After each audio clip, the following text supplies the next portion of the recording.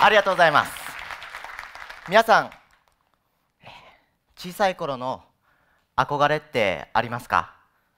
僕はその憧れはヒーローの必殺技でした。僕はジャグリングをする理由はここにあります。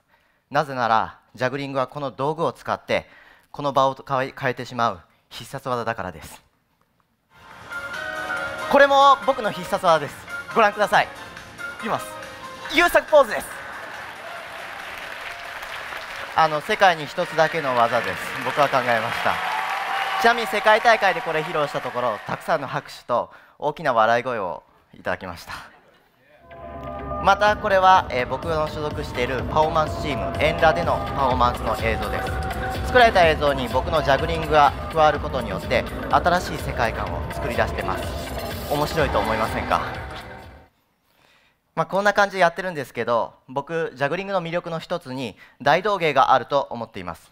僕にとっての大道芸はこのジャグリングを路上で行うことなんですけどこの写真これは僕が一人でヨーロッパフランスイタリアなど50日間ジャグリングをして旅してた時の写真です。あの僕のパフォーマンスでたくさんの人言葉喋れなかったんですけどそれでもいろんな人に共感していただいて集まって集まっていただいてでそれで投げ銭でなんとか50日間あの生活してました。ちなみに僕は幼い頃、えー、小学校5年生の頃からずっと大道芸してまして地元静岡で生まれましたので大道芸はすごい有名な町でありまして、えー、ずっとそのようなものを見て身近で見てで自分でやってきてその活動をジャグリングにフィードバックしてきました。僕のパフォーマンスはまず観客と僕との出会いから全てが始まります。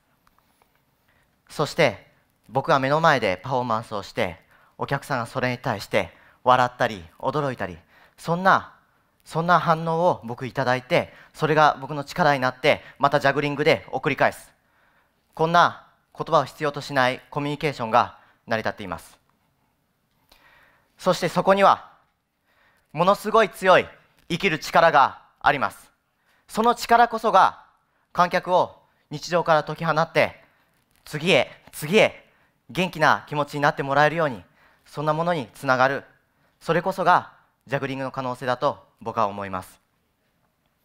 僕にとってのジャグリングは情熱の交換なんです。それでは最後僕の必殺技ご覧いただきたいと思います。